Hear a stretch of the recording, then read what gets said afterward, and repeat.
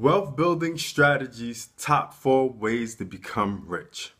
What's good, wealth builders? It's your boy DeVaughn back again with another video. And today we're talking about the four ways to become rich with these four wealth building strategies. Okay, so let's go.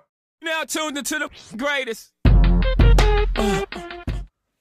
All right, before we get started, go ahead and click the link below and get your free ebook where I break down my formula how to make six figures online from the comfort of your own home.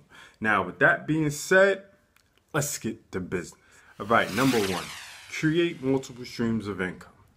I know we've all heard this one before, but think about it like this. No one ever, ever, ever, ever, ever, ever, ever, ever has gotten rich or even financially free with just one form of income, okay? But the secret is make sure you're piggybacking off of one income. Like if you have your own donut shop and you have your own way of making these special donuts, then why not start putting these special donuts in different retail spots or grocers? That's what I call piggy backing off of one stream of income into another.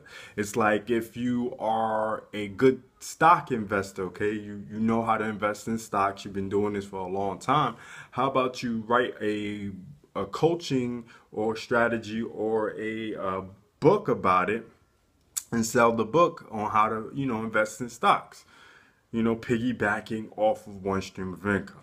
Number two, invest weekly. Okay, you can't say you want to become rich and don't invest your money.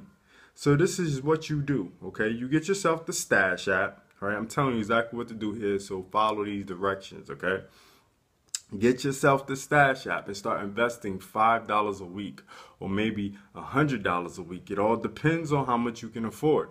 All right, you invest in what I call dividend stocks or dividend ETFs. Okay, these dividend ETF or stocks, they pay you just to hold the stocks. And boom, you have an extra stream of income right there, okay? And it builds on itself through compound interest. Okay, I'm, I'll go through that in another video, but just think about it. Number two is definitely invest in stocks. Number three, pay yourself first. I know you probably are saying I heard this one too, but Paying yourself first is only way to secure financial freedom if things happen to go wrong. Okay? I recommend putting in at least 6% of your income in your company's 401k plan or retirement plan. If you have a business, you can invest the same percentage or higher into an IRA account. Okay, which is almost like a 401k account with a few differences. Okay, so the IRA account is for if you have your own business and 401k is say like if you work for a big company and they have a retirement plan which they usually match on that retirement plan if you're higher than 6%. Okay, now, number 4, change your mindset about money, okay? This is this is a big one here, okay? I know it's easier said than done, and I know it's easy for people to say it but don't do it, okay? But if you train yourself to think in the way that rich people do, you will become rich or at least well off in the sense of financial freedom, okay? So, here is a bonus, okay? I got five tips to change your mindset of, you know, to become rich. So, number one, always believe there is money out there even if you don't have it, okay? Because you can't make more money or get more money or have money come to you if you don't believe that there's more money out there. There is money out there, okay? Okay, and when I say out there, I mean, you know, in the world, you know, beyond just your job.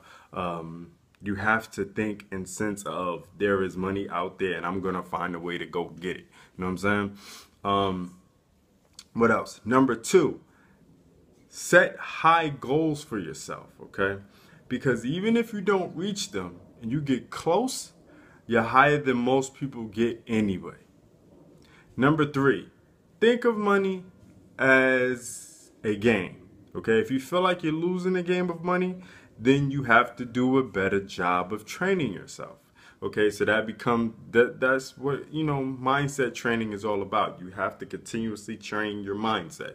Number four, think of money as a friend or an ally. Okay, you not do not think of your money as the enemy or how much you make is the enemy or you know I'm not making enough. This money's not coming in fast enough. Okay, so that repels money from you. You have to think of the money you get as a friend or an ally and every time you get that money find a way to put it to work even if it's just a little bit. You have to find a way to put it to work for you. Number 5. Don't fear leaving your comfort zone relish in it okay? When you're uncomfortable you have to grow or fail. And failing at anything just means you're trying to grow. So either way you win as long as you're learning from your failures okay? From your failures. Failures. I'm not saying it properly. Because when you're learning from your failures then that means you can go back regroup and change what you're doing and come back a better you and go harder Okay, so the better you are, the more money you'll make. Okay, you have to grow.